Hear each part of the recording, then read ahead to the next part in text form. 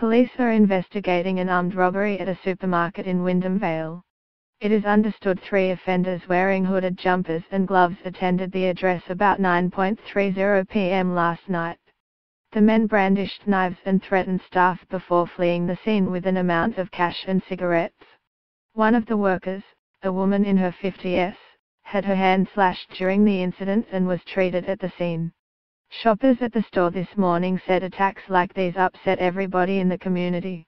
It's just unspeakable, poor buggers are just trying to do a bit of work for themselves and folks come along and take their livelihood, John Young told 9 News. I hope they get punished and sent to jail, there is no place in society for them.